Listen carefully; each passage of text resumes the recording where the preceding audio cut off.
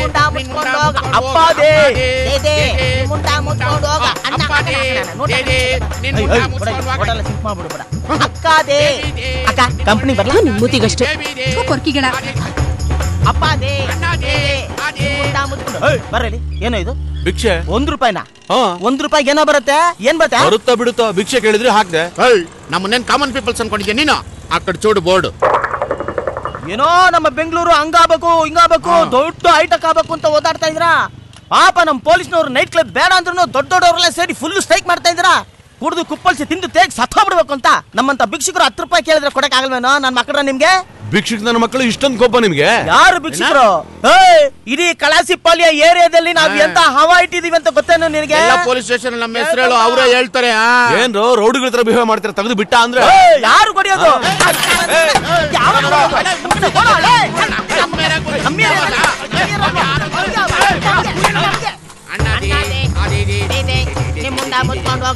They. ದೇ ದೇ. ಅಮ್ಮ ದೇ. ಅಮ್ಮ ದೇ. ಆಂಟಿ ದೇ. ಅಮ್ಮ, ಏನ್ ಹುಡುಕ್ತಾ ಇದೀರಾ ಚೇಂಜ್ ಅಮ್ಮ ನಿನ್ನೆ ತಾಜ್ ಹೋಟ್ಲಲ್ಲಿ ಎರಡೆರಡು ಬಿರಿಯಾನಿ ತಿನ್ಬಿಟ್ಟು ಅಲ್ಲಿ ಸಪ್ಲೈರ್ಗೆ ಇಪ್ಪತ್ತು ರೂಪಾಯಿ ಟಿಪ್ಸ್ ಹೊಡಿಬೇಕಾದ್ರೆ ಮೀನಾಮೇಶ ನೋಡ್ಲಿಲ್ಲ ನಮ್ಮಂತ ಬೆಗ್ಗರ್ ಕೊಡಕ್ಕೆ ಇಷ್ಟೊಂದು ಯೋಚನೆ ಮಾಡ್ತೀಯಲ್ಲಮ್ಮ ನಾನು ತಾಜ್ ಹೋಟ್ಲಲ್ಲಿ ಊಟ ಮಾಡಿ ನಿಮ್ಗೆ ಗೊತ್ತು ನಿನ್ನೆ ಮಧ್ಯಾಹ್ನ ನಾವು ಇಬ್ರು ಲಂಚ್ ಅಲ್ಲೇ ಮಾಡಿದ್ದು ಬೇಕಾದ್ರೆ ನೀವು ಬನ್ನಿ ನಿಮ್ಗೂ ಕೊಡಿಸ್ತೀವಿ ನಿಮ್ಮಂತ ಬೆಗ್ಗರ್ಸ್ನ ನ ತಾಜ್ ಹೋಟ್ಲ್ ಸೇರಿಸ್ತಾರ ಯಾಕೆ ಸೇರ್ಸಲ್ಲ ಹೋಗ ಅಮ್ಮ ದೇ. ಬಿಡು. ದೇ, ದೇ. ಅಮ್ಮ ದೇ. ಅದೇ ದೇ. ಅಮ್ಮ ದೇ. ಅಮ್ಮ, ಅಮ್ಮ. ಏಯ್ ಏನು ಗಲಾಟೆ ಎಲ್ಲೆಲ್ರೇ ಹುಡ್ಕೊಂತ ನಿಮ್ಮನ್ನ ಬೀದಿ ಬೀದಿ ಎಲ್ರು ನಿಮ್ಮನ್ನ ಹುಡ್ಕೋದ್ ಕಷ್ಟ ಆಗಿದೆ ನಮ್ಮ ಮಕ್ಕಳು ಕಲಿಬೇಕಾಗಿತ್ತು ಆ ನಡೀರಿ ಸ್ಟೇಷನ್ಗೆ. ಯಾಕೆ? ಬೆಳಿಗ್ಗೆ ಬೇರೆ ಕೆಲಸ ಇಲ್ವೇನ್ರ? ಏಯ್ ಏಯ್. ಮೇಡಮ್ ನಿಮ್ಮಿಬ್ಬರನ್ನು ಕರ್ಕೊಂಬ ಅಂತ ಹೇಳಿದ್ದಾರೆ. ಮರ್ಯಾದೆಯಾಗಿ ನೀವೇ ಬರ್ತೀರೋ ಇಲ್ಲ? ನೀವು ಮರ್ಯಾದೆಯಿಂದ ಕರೆದ್ರೆ ನಾವು ಬರ್ದೇ ಇರ್ತೀವಾ? ಗಾಡಿಲಿ ಎಸಿ ಹಾಕ್ತೀಯಾ? ಎಸಿನೂ ಹಾಕ್ತೀವಿ ಐಸು ಕೊಡ್ತೀವಿ. ಬನ್ನಿ. ಅದು ಕರೆಕ್ಟ್. ಏಯ್, ನಡ್ಯೋ. ಮಾಡ್ತೀರಾ? ನಮ್ಮಂತವ್ರು ನಿಡ್ಕೊಂಡ್ ಏಯ್. ಅಣ್ಣ ನಮಸ್ಕಾರ ಅಣ್ಣ.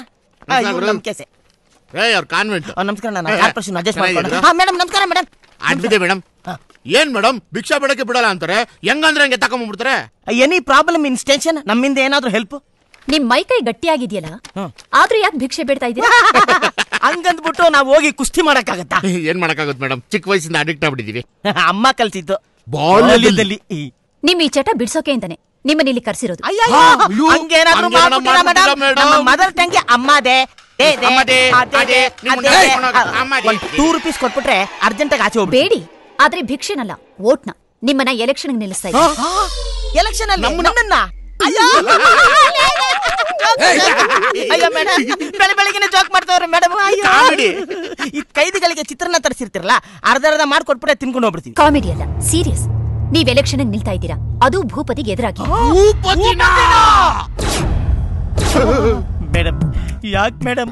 ನಾವು ಬದುಕಿರೋದು ನಿಮ್ಗೆ ಇಷ್ಟ ಇಲ್ವಾ?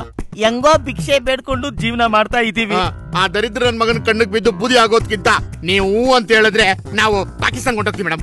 ಮೇಡಮ್ ಇಷ್ಟಕ್ಕೂ ಎಲೆಕ್ಷನ್ ಅಲ್ಲಿ ನಿಲ್ಲೋದಕ್ಕೆ ನನಗೇನು ಯೋಗ್ಯತೆ ಇದೆ? ನೀವ್ ಇಷ್ಟೆಲ್ಲ ಮಾತಾಡ್ತಿದ್ದೀರಲ್ಲ? ಕಲಾಸಿಪಾಳ್ಯದ ಬಗ್ಗೆ ನಿಮ್ಗೇನ್ ಗೊತ್ತು? ಕಲಾಸಿ ಪಾಳಿದ ಬಗ್ಗೆ ಏನ್ ಗೊತ್ತು? ಅಂತ ಇಲ್ಲಿರೋ ಹತ್ತಾರು ಜನ ನಮ್ ಏರಿಯಾಗೆ ಎಣ್ಣೆ ಹೊಡಿಯಕ್ಕೆ ಚಾಕ್ಲೆ ತಿನ್ನಕ್ಕೆ ಬಂದೇ ಬರ್ತಾರೆ. ಇರೋದು ತೊಂಬತ್ತೊಂಬತ್ತು ಬೀದಿ. ಅದ್ರಲ್ಲಿ ಇಪ್ಪತ್ತೊಂಬತ್ತು ವೆಜ್ಜು. ಅಲ್ಲಿಗೆ ನಾವು ಹೋಗಲ್ಲ. ಅರವತ್ತು ನಾನ್ ವೆಜ್ ಪರ್ಮನೆಂಟ್ ನಮ್ಮ ಅಡ್ಡಾನೆ ಅಲ್ಲಿ ಇನ್ ಮೂರ್ ಬೀದಿಗಂತೂ ನಾವು ಹೋಗದೇ ಇಲ್ಲ. ಬೀದಿ ನಾಯಿಗಳ ಕಾಟ? ಗಲ್ಲಿ ಗಲ್ಲಿಗೂ ಲೈಟ್ ಕಂಬ ಇದೆ. ಲೈಟ್ ಉರಿ ಅಲ್ವೇ? ಬೀದಿ ಬೀದಿಗೂ ಕೊಳ ಇದೆ. ನೀರ್ ಬರಲ್ವೇ? ಹನ್ನೆರಡು ನ್ಯಾಯಬೆಲೆ ಅಂಗಡಿ ಇದೆ. ಅದ್ರಲ್ಲಿ ಆರು ಬೋಗಸ್. ಹಾ ಬರೋ ಸೀಮೆಣ್ಣೆ ಅಕ್ಕಿ ಬೇಳೆ ಎಲ್ಲ ಅವೇಸು. ಇನ್ನು ಮೂತ್ರ ವಿಸರ್ಜನೆ ಒಳ ಚರಂಡಿ ಕೆಲಸ. ಆಮೇಲೆ ಮೂವತ್ತು ಪರ್ಸೆಂಟ್ ಜನ ಮಾತ್ರ ನ್ಯಾಯವಾಗಿ ಜೀವನ ಮಾಡೋದು. ಎಪ್ಪತ್ತು ಪರ್ಸೆಂಟ್ ಅಲ್ಲೂ. ಇವನ್ ತರ. ನಮ್ ತರ. ನಿನಗ್ ಗೊತ್ತಿರೋ ಒಂದು ಪರ್ಸೆಂಟು ಆ ಭೂಪತಿಗ್ ಗೊತ್ತಿಲ್ಲ. ನೀನ್ ಧೈರ್ಯವಾಗಿ ಎಲೆಕ್ಷನ್ ನಿಂತ್ಕೋ. ಏನೇ ಆದ್ರೂ ನಾನಿದ್ದೀನಿ.